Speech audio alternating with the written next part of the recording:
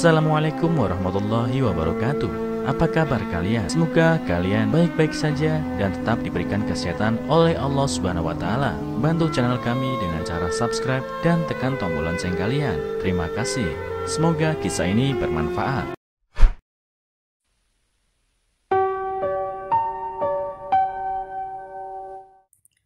Wanita ini tak ingin tinggalkan suaminya yang terlalu ganteng meski sering disiksa.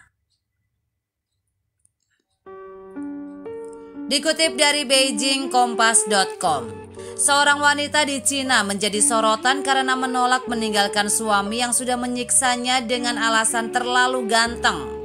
Diwartakan Cina Press.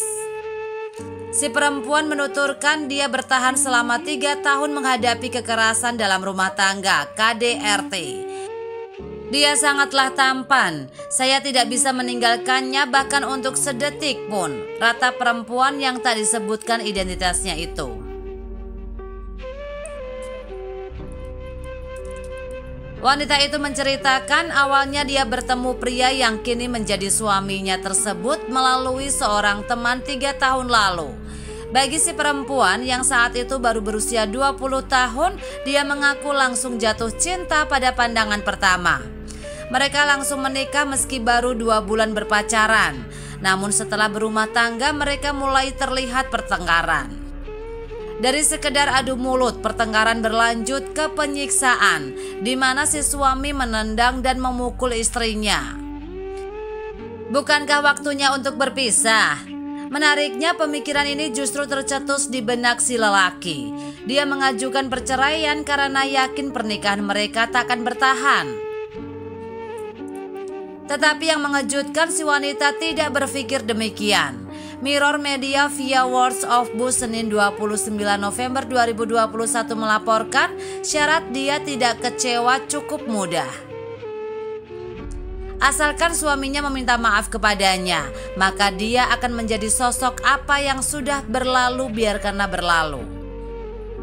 Meski suaminya bolak-balik ingin berpisah, si istri mengatakan dia mempunyai tiga alasan kuat untuk berusaha mempertahankan rumah tangganya. Pertama, suaminya merupakan cinta pertamanya sehingga dia tidak bisa langsung menyudahinya begitu saja. Kedua, dia adalah tipe yang meyakini jika wanita yang mendekati si laki-laki maka dia harus tetap setia terlepas apa pun persoalannya. Ketiga, ini yang menarik. Dia melihat suaminya sebagai sosok yang terlalu tampan sehingga dia mengaku sulit jika harus mencari gantinya. Si perempuan bahkan mengatakan pasangannya itu jauh lebih tampan dari Chris Wu, aktor sekaligus penyanyi blasteran Cina dan Kanada. Di sisi lain suaminya mengungkapkan istrinya adalah sosok penuh curiga yang akan selalu memeriksa ponselnya untuk mengecek jika dia berselingkuh. Kemudian laki-laki itu mengeluh dia jadi tidak merasa bebas karena istrinya kerap menempelnya 24 jam penuh dan tidak membiarkan gadis lain melihatnya. Saat ini si wanita dilaporkan sedang hamil dan menegaskan dia ingin membina keluarganya dengan suaminya tersebut. Saya akan memberikannya apa pun yang dia inginkan selama dia tidak berniat meninggalkan saya, kata dia.